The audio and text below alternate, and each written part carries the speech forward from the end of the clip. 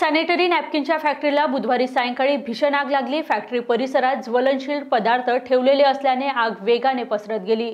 यात कोणतीही जीवितहानी झाली नसली तरी फॅक्टरीचे मोठे नुकसान झाले आहे. सुरुवातीला पाच अग्निशमन वाहनच घटनास्थळी पोहोचले. मात्र आगीचे रौद्ररूप पाहता विविध केंद्रातून वीस वाहने बोलवण्यात आली. अथक प्रयत्नानंतर अग्निशमन दलाने आगीवर नियंत्रण आणले. बेसाच्या घोगली चौकात वंदना वैद्य आणि मायादेवी वैद्य यांची वैद्य इंडस्ट्री नावाने फॅक्टरी आहे. या फॅक्टरीत फर्निचर आणि सॅनिटरी नॅपकिन तयार केले जातात.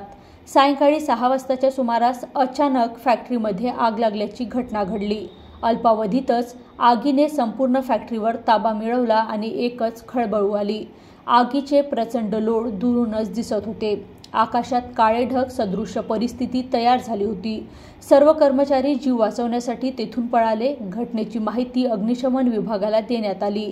एन एम आर डी एचे मुख्य अग्निशमन अधिकारी गणेश खटमल तीन बंबासह घटनास्थळी पोहोचले. महानगरपालिकेच्याही मदत घेण्यात आली. सीएफओ चंदनखेडे यांच्यासह नरेंद्रनगर आणि सकरदरा अग्निशमन केंद्राचे अधिकारीही दोन बंबासह तेथे पोहोचले. आग वेगाने पसरत चालली होती. आसपासच्या आस्थापनाचे नुकसान होऊ नये म्हणून चारही बाजूंनी पाण्याचा मारा सुरू करण्यात आला परंतु आग आटोक्यात येत नव्हती. उलट आगीचे लोड वाढतच चालले होते. त्यामुळे आणखी पंधरा बंब बोलवण्यात आले. संपूर्ण परिसराला वेढा घालण्यात आला आणि चार तासाच्या अथक प्रयत्नानंतर आगीवर नियंत्रण आणण्यात अग्निशमक दलाला यश आलं.